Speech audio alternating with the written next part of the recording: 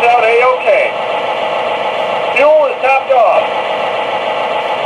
Make sure the sand pans are topped off. All right, I'll check that out. Sand bins are topped off.